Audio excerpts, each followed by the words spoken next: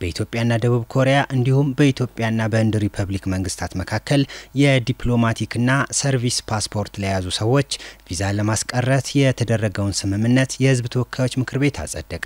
የህዝብ ተወካዮች ምክር ቤት ሶስተኛ ዓመት የስራ ዘመን ሁለተኛ መደበኛ ስብሰባውን አካሂዷል።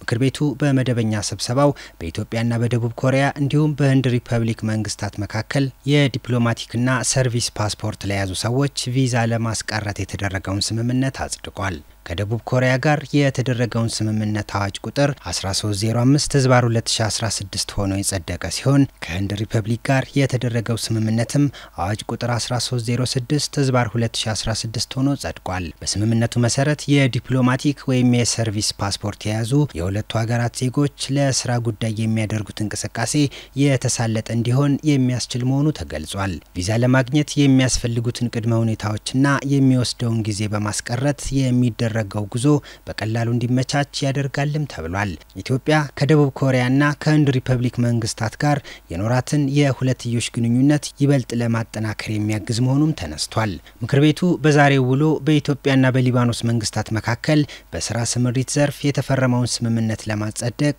የቀረበውን ረቂቅ አዋጅ መርምሮ ለሚመለከተው ቋሚ ኮሚቴ ለዝርዝር እይታ መርቷል።